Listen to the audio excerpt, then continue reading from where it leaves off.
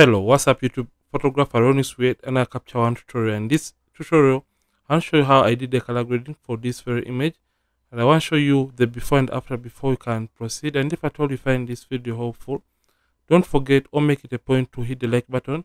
And you can as well hit the comments for any feedback about this very video. And if at all you find it helpful, that will be a positive mindset or motivation for me to create more content like this on this channel. So let me show you a quick before and after for this. And we are in capture one and i just want to show you just a quick before and after for the color grading of this image. So you can see this is the after and this is the before after before after. And you can see i have a couple of adjustment layers right on this other side. So i'm just going to close or turn off the before and after slider. So what i want to basically i'm just going to come and I hit the reset option, you can see I'm going to be showing you why I created all these adjustment layers right here. Just going to reset the image so that you can start from the very start. So this is the image that I want to work with and you can see I shot it at ISO 160 and the shutter speed was 1 out of 400 per second and I shot it at f5 and I took it using my Canon 60 camera and the lens I used was a Tamron 7200 f2.8 lens. So i'm just going to come and usually in capture one you may be wondering why my options are on the right hand side. I just switched that from window workspace then i came to migration and i put the adjustments onto the right hand side.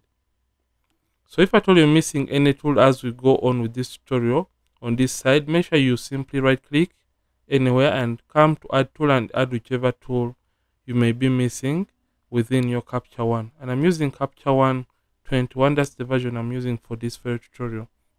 So what I'm going to do basically in Capture One, I first of all tend to correct the lighting issues in my images. So I'm just going to come to the high dynamic range. You can see my image is a little bit, if at all I turn on the exposure warning, it is a little bit overexposed in some areas.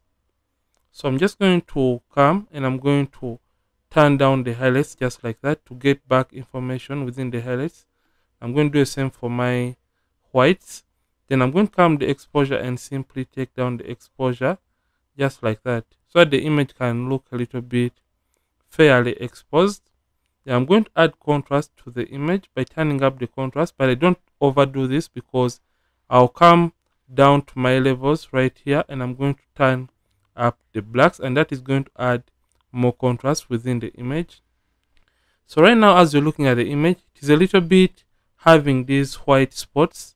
If at all I'm to zoom in, you can see these white areas within the image. So just want to first of all deal away with those white areas or those white spots in those areas. So I'm just going to be creating adjustment layers. So the very first one I'm going to do, I'm just going to right click on this layer icon, on the plus icon. So you right click on the plus icon right here and I'm going to create a new filled adjustment layer. So this is going to be working with the highlights and the whites basically in the image. So I'm just going to come to the high dynamic range and I'm going to take the highlights and whites down. And I'm also going to do that a couple of times because I want to get rid of these white areas within the model's face. So I'm just going to take that a little further by so you can see how nice and beautiful capture is. You create different layers and you can take an adjustment overboard. So I'm just going to come back to the highlight option and I'm going to take that down and also do the same for my whites. I'm going to do that a couple of two more times. So right click and create a new filled adjustment layer. I'm going to take this down and also the whites down and let me create one more layer one more time and I'm going to do it a couple of times and you can see right now those white areas have been dealt away with so after we have done that, we're just going to come straight to the color grading process. So for the color grading, I'm going to create a new filled adjustment layer once again right here. And I'm going to rename this to color grading so that you don't get lost along the way. So color grade. So usually in Capture One, what I tend to do is first of all evening out the skin tones of my subjects or my models. So with this layer selected, I'm going to scroll all the way down to where it says color editor and go straight to skin tone. So we have basic, advanced, and skin tone. So usually I want first of all even out the skin tones of my models. So with the skin tone option selected, I'm going to get the eyedropper tool right here.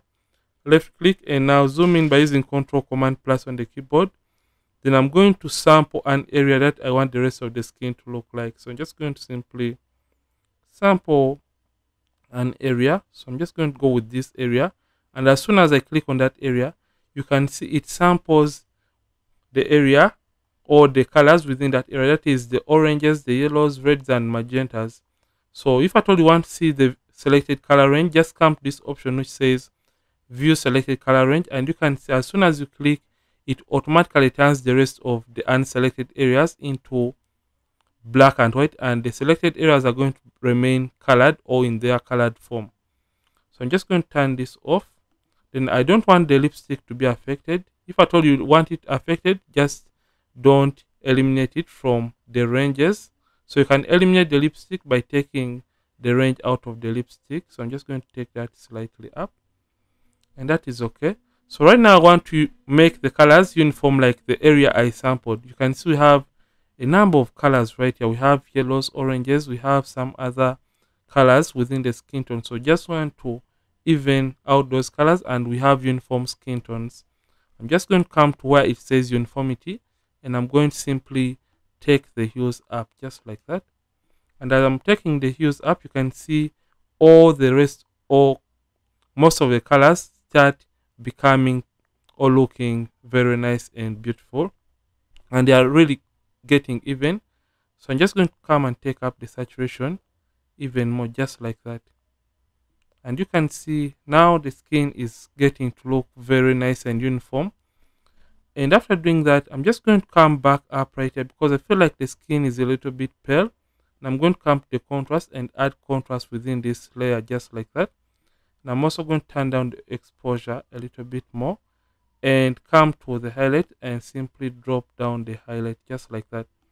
So this is targeting more the skin tones of the model. So I'm just going to come back to my skin tones right here and you can see the image is looking great and it is looking okay and it is not as overexposed like it was before. So with this turned on, I can come and add, for example, if at all I want to add magentas within the skin tone, I can take this towards the magentas and it's going to add reds within the skin tone and taking it up, it is going to add opposite of magenta, which is green within the skin tone. So just going to take that towards the red slightly. And if at all you want to unify the skin tones even more, you can take the hues a little bit further. So right now we have a very nice and even skin tone.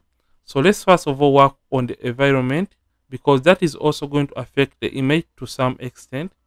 So with affecting the environment, we're just going to come to the basic panel and you're going to come right here to, for example, the greens and simply you're just going to hue the greens towards the aqua side, just like that. And we are just going to desaturate that color. And you're going to come to our yellows and you're going to desaturate or take out the yellows from the image so that the image or the model can stand out a little bit more. Then I'm going to also come right here to my blues because I prefer that kind of teal look to the jacket of the model. I'm just going to come to the hues and I'm going to hue the blues towards the aqua side just like that and you can see that looks okay it looks great and the next thing I want to do I'm going to come to my color balance right here and this is where the magic is going to take place. So i feel like i want to add cyans to my shadows. So just come and select the shadows and click in the middle wheel and just take it towards uh, the edges just like that. And you can see the more you take it towards the edges the more the cyans are going to be stronger so in order to reduce on the intensity you can drag this back towards the center and that is going to reduce on the intensity you can simply click right here and you're going to uh, reduce on the effect of the aquas in this very image. So after that, I'm just going to come to my midtones and I'm going to add a little bit of oranges to my midtones and that is going to make the image a little bit better or look better and I'm just going to add a tiny bit of that. Then I'm going to come and add a little bit of greens to my highlights. And I'm going to take that down by moving this knob downwards. And you can see that is what we have right now. So right now the skin if at all you're comfortable with the skin you can leave it the way it is. But i'm going to come back to the basic slide and i'm going to target the oranges so i'm just going to take down the lightness or the luminosity of the oranges just like that. And i feel like the skin of a model is a little bit more on the orange or yellow side. I'm just going to add or hue the oranges towards the reds just like that and make them look a little bit red in color. And i'm also going to desaturate that color. So this is what we have right now so if at all you feel like you want to alter or change the colors further on you can come and create one more adjustment layer. So simply hit the plus icon and create a new filled adjustment layer. And you can come back to the basic panel and you can hue the blues even more to the color of your test just like that. And you can as well come to the greens and also take them even up and that is going to make the image really nice and stand out. So basically this is what we have right now. We are done doing the color grading on the skin tones of the model. And let's have a look at the before and after for the color grading process. This is what we had before and this is the after before after. Just look at how nice the image has turned out to be with just those few adjustment layers. So a good thing with capture one you can as well come to the color grading and if at all you feel like you have gone overboard you can come the opacity select a given layer and reduce on the opacity of a given adjustment you have put to the image. So basically when you're done doing the color grading you want to take the image into photoshop to do the skin retouching. So in order to do this you're just going to come and simply right click on the image and come to edit with and come to photoshop 2020 or whichever version you're using of photoshop. Simply select it and you can come i prefer a tiff file and 16 bit is my preferred bit depth of images. Options i prefer uncompressed and ICC profile as 98 then the resolution is 300 pixels per inch and the scale is fixed. And i simply click on edit variants and it's going to be open into photoshop for me to do skin retouching on this very image. So basically this is it for today's tutorial and if at all you have loved this don't forget to like this video and don't forget to subscribe this channel if at all you have been watching and you're not subscribed yet to this channel. Ronnix from ronnix photography. Thank you for watching. I'll see you in yet more amazing tutorials. And don't forget to keep practicing and also keep creating